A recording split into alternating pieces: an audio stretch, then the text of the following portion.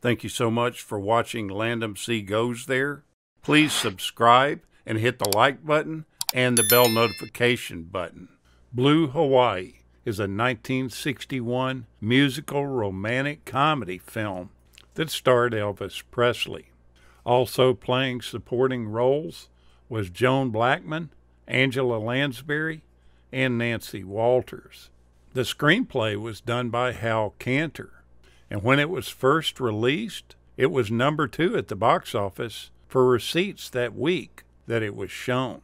Despite getting mixed reviews from the critics, it finished the 10th top grossing film of 1961 and the 14th for 1962. The storyline goes that having been released from the Army, Chad Gates is eager to return to Hawaii with his surfboard, his native Hawaiian beach friends, and his girlfriend, Mally. His mother, Sarah Lee, wants him to follow in his father's footsteps and take over management at the Great Southern Hawaiian Fruit Company, which is the family business.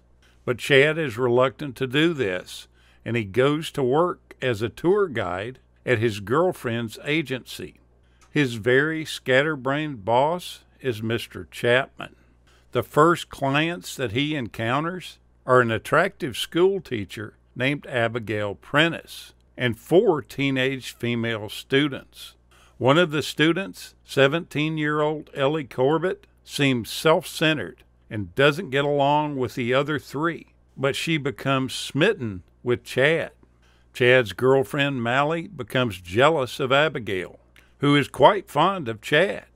After Ellie's flirtatious ways with another tourist cause a fight to erupt in the restaurant, Mr. Chapman fires Chad, and Mally quits her job in protest. Mally and Chad independently continue guiding Abigail and the four youths. One night, Ellie attempts to seduce Chad in his hotel room, but he refuses her advances. At that same moment, Mally pays a surprise visit to the hotel. Ellie despondently flees in a stolen jeep, intending to drown herself in the ocean. But before she can, Chad pulls her out, attempts to speak to her, and then decides to punish her with a good old fashioned spanking. In the very next scene, the girls, including Ellie, are having breakfast. Ellie is now pleasant, friendly, and well mannered, and jokes about the spanking. Meanwhile, Abigail has found romance with Jack Kelman, a longtime business partner of Chad's father.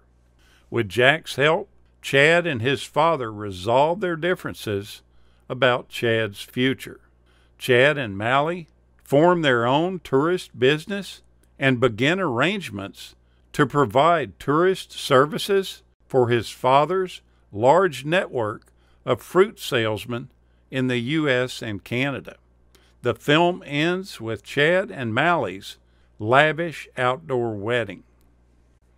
The movie is the first of three Presley films shot in Hawaii, followed by Girls, Girls, Girls in 1962 and Paradise Hawaiian Style in 1965. Producer Hal Wallis was keen to put Presley in a film that showed how the Army affected a man. Actress Juliet Prowse, who had starred with Presley in GI Blues, was then approached to be his love interest again. But after her demands were put forward, Paramount decided to drop her for that role, choosing Joan Blackman instead. It's said that Presley was so pale before shooting started that Hal Wallis personally recommended a brand of tanning lamp to darken his skin. The movie was announced in the fall of 1960 and was given the temporary title of Hawaiian Beach Boy. Elvis arrived in Hawaii March 18, 1961, to prepare for a charity concert that he was giving on March 25th to raise funds for the Arizona Memorial at Pearl Harbor. He arrived at the recording studio March 21st to start recording the film's soundtrack. Three weeks later, location filming had finished. After that, the crew returned to the Paramount lot to finish other scenes for the movie. Presley relaxed during filming by giving karate demonstrations with his friend and employee, Red West, which resulted in his fingers becoming bruised and swollen. The producer, Wallis, warned the female stars of the movie to avoid parties that Presley hosted because when they turned up for shooting the next day, they looked really tired. At one point in the film, Chad rebuffs 17 year old Ellie's advances and tells her that he doesn't want to rob the cradle. But at that time, 26 year old Elvis was involved with 16 year old Priscilla, who he later went on to marry. Presley gave his famous ukulele from the film to Hank Garland, also nicknamed Sugarfoot. Garland was one of the top session guitarists during the 1950s that was in Nashville. He recorded with Elvis and toured with him from 1958 to 1961. Elvis etched his initials into the ukulele for Garland. When this film and the soundtrack album proved to be an enormous hit, Presley's manager, Colonel Tom Parker, decided to use it as a blueprint for all future Presley movies, putting him in an exotic setting, giving him one or more pretty co stars, and making sure he sang enough songs to fill both sides of an LP. That formula, without a doubt, worked. Elvis ranked among the top 10 box office stars in the 1960s. Now, Jenny Maxwell played the spoiled girl in this film and afterwards she had some pretty painful memories of it. The story goes that Hal Wallis demanded that she throw herself into the scene where she's trying to drown herself and where she gets hunted down by Elvis and spanked.